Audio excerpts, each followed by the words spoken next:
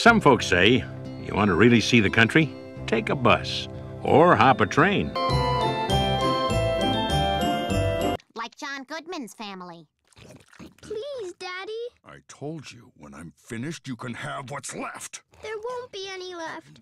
There's never any left. Parking space and lots of cocoa.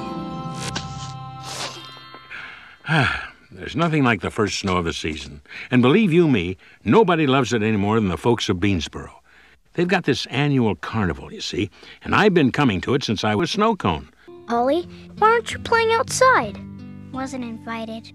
Neither was I, but it's excellent packing. Let's go outside and make a fertility goddess. What? Just your basic everyday cut off your head in three strokes handsaw.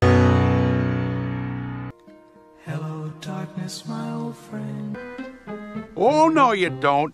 You want to take something, take the tie. Unless you think I need it. How do you well dress for this winter carnival anyway? I mean, I don't want to underdress. But if I could get away with a tank top or something more cash. Who are you? The name? Uh, I'm Holly. No. Holly knew she had to do something fast if she wanted to protect Frosty. Why weren't you at elf practice? No!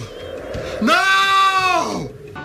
The best kind of magic that only winter brings comes in a big snowy bundle that dances and sings. Why weren't you at elf practice? Oh, not this again. Now, can somebody give me a B flat?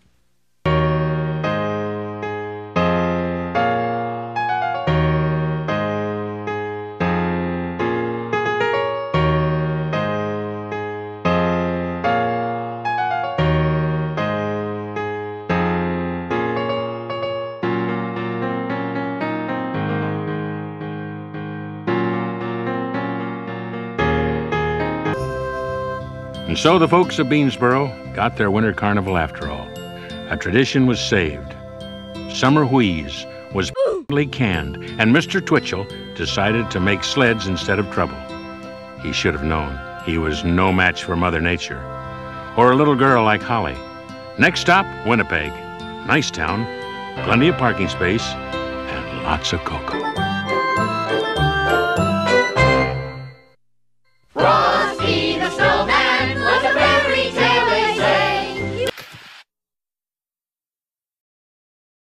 Everyone died. The end. A snow cone.